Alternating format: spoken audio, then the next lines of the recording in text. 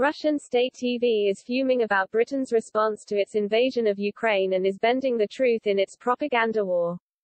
Channel One Russia is perhaps best known in the West for its brief broadcast of a live protest by its former employee Marina Ovsyannikova last month. Ovsyannikova burst onto a live set holding a banner and shouting, Stop the war.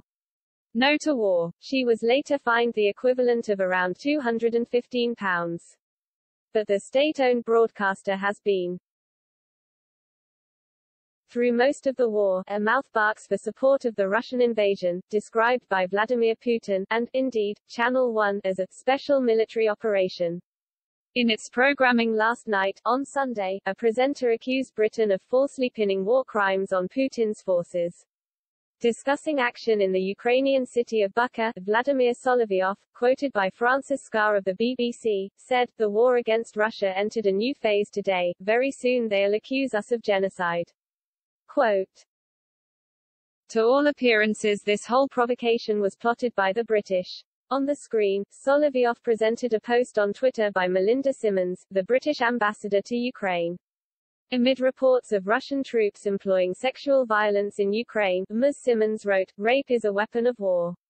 Though we don't yet know the full extent of its use in Ukraine it's already clear it was part of Russia's arsenal. Women raped in front of their kids, girls in front of their families. As a deliberate act of subjugation. Rape is a war crime.